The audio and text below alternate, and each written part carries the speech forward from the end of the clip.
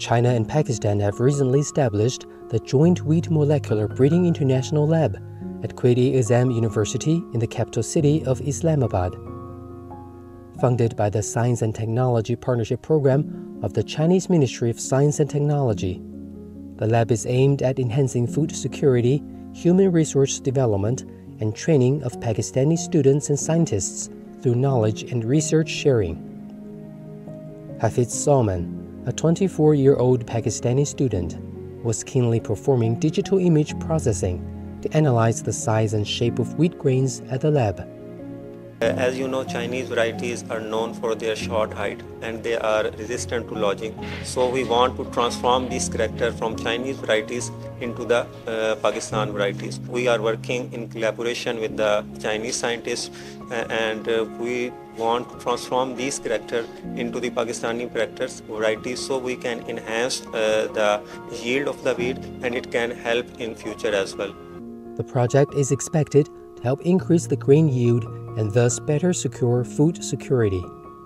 So the varieties which we have tested under this project, so the initial results that uh, we observed that the yield potential of these varieties is, is 8 to 10 percent more than the conventional wheat varieties which we are growing here.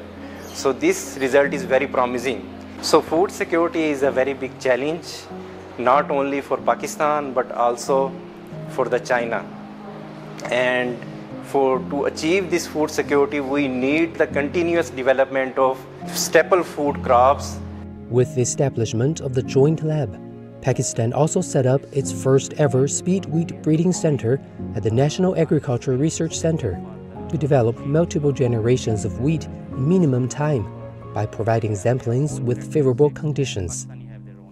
Uh, breeding is a long uh, process and uh, for registration it takes like uh, 12 to 15 years in Pakistan.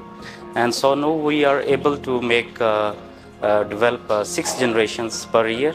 So by this system, we can reduce uh, six to seven years from uh, our breeding program.